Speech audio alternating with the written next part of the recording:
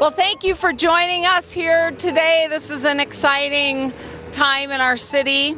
Over the last few months, my office has embarked on our Color SLC project, which takes ordinary signal boxes like this one you see behind me and makes them public works of art.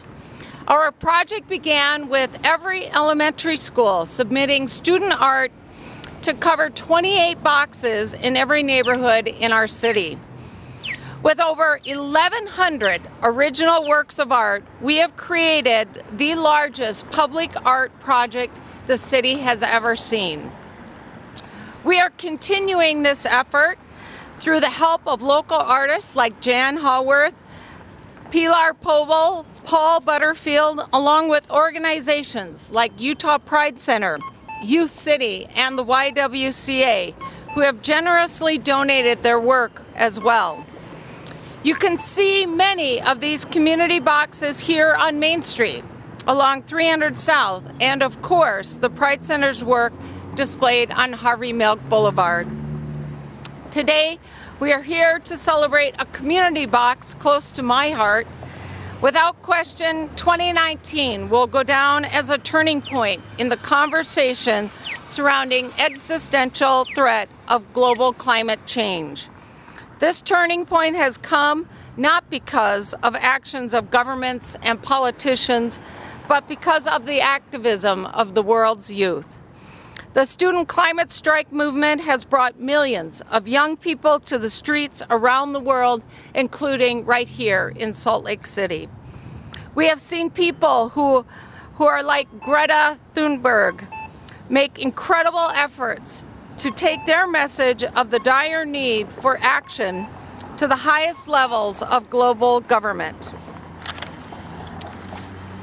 Here in Salt Lake City, young people from around the world gathered as part of the United Nations Civil Society Conference just this past August.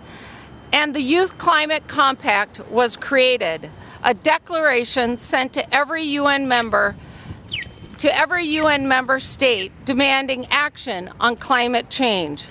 Today, we honor this work and make permanent their message on the signal box in the heart of downtown. Salt Lake City not only holds up these young people today, but through our work moving forward toward 100% clean energy by 2030 and reducing our carbon output by 80% by 2040, we stand shoulder to shoulder with you. May everyone who passes this corner see the messages of the youth as, as they are written and understand the viable nature of what is possible. May this work inspire others to take action to address the existential crisis we are facing. Actions as simple as utilizing the public transit available here on this street. I want to thank everyone who has participated in the Color SLC program, especially the youth who created the artwork featured on this box today, and all the youth who participated in the UN Civil Society Conference. I'm now going to turn the time over to one of our amazing leaders right here in Salt Lake City. Hi, I'm Ari Grace, and thank you all for coming. And I want to really thank you for doing this and just for all of your support and all of your help and for standing with us throughout all of this climate craziness that's been going on. Um, I was looking through old photos on Instagram the other day and I stumbled across one that almost moved me to tears.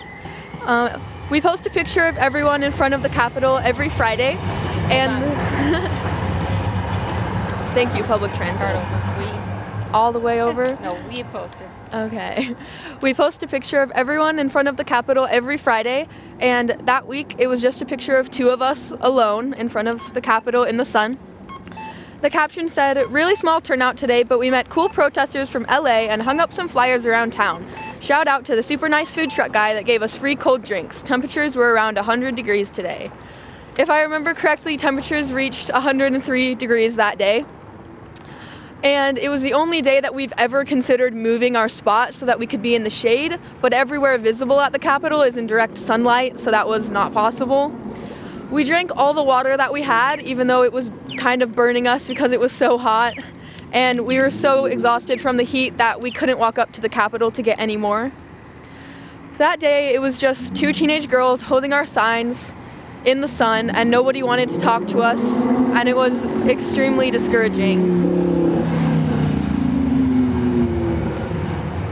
Um, when I saw that picture of just the two of us, I suddenly remembered another picture that I wanted to find. So I scrolled through my camera roll and I found a picture of the September 20th strike, which is what all of these signs are from, where there was an estimated 2,000 people. I was involved with a hundred kabillion other people in planning that strike, and we were expecting maybe about 300. And we woke up that morning and we got started, and there was 2,000 people. So I looked at those two pictures side by side to see just the two of us alone on that really discouraging day, and then 2,000 people up at the Capitol holding signs and banners, and it was amazing. We see strikes and marches happening all over the world where groups have thousands or, in some cases, even millions of strikers. While here, for a while, we had a good two, maybe three or four people every week. The global movement is growing, and the movement is growing in Salt Lake, in Utah, and in the US.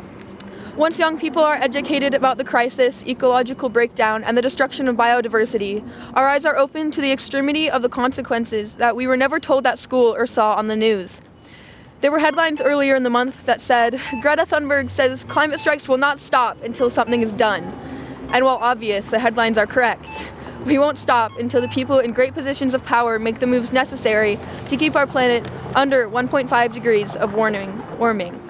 We'll continue holding signs that say climate action now and chanting unite behind the science until our nation unites behind the science and takes climate action. The movement is rising alongside the sea levels and the anger in the youth's souls that, about what has been done to our future. Even despite our efforts, the world continues to move backwards, like Wolverine Resources, who are reopening a coal mine here in Utah. And that is why we strike, and why we aren't stopping. And the more youth understand what rising emissions mean, the more of us there will be, because despite now having a political connotation, this is science. And once we understand science and why we must unite behind it, and then do so, that is when we'll change the world.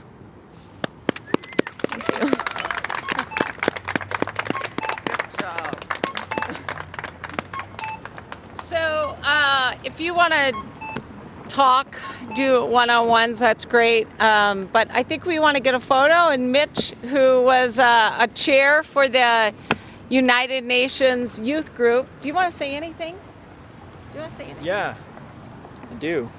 I guess. Tell them. I'm, I mean, I, hi, so I'm Mitch Dumke, uh, community, mem- community member in Salt Lake City, and uh, was honored to be a part of the youth society, the youth subcommittee of the host committee for the United Nations Civil Society Conference that was, took place in August.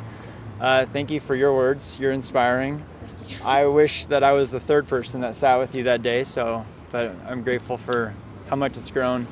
Uh, the the experience that we had in Salt Lake in August and what's happened since has been really moving to be able to see how many people are having a dialogue now that didn't know what was happening in Salt Lake, the, con- the dialogue that was occurring from a global perspective, and how it's persisting in a local perspective now after the conference is finished.